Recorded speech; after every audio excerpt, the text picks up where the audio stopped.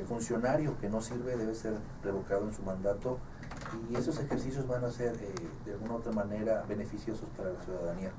En tanto más podamos tener perfiles capaces, porque la corrupción y el tema del blindaje electoral no solamente genera el tema del dinero, el tema del narcotráfico, hay, hay gente que aspira a ser eh, diputado, presidente municipal y ni siquiera conoce la A lo que es la ley o la constitución. Me parece que en ese sentido es una corrupción. Poder aspirar a un cargo, si no tienes la capacidad de hacerlo, es un tema de corrupción porque vas a llegar a tener una nómina muy alta, que, que o por hoy día lo, acaba de decir la ciudadanía, eh, pero por otro lado, también me parece que de alguna otra manera, si los funcionarios no son capaces de poder dar la cara de frente a los ciudadanos y en, en razón de sus hechos, sean eh, eh, virtudes o sean en este caso, eh, situaciones tan drásticas y, y, delicadas, deberán de, retirarse del puesto. Y no solamente retirarse, sino también tener una responsabilidad criminal.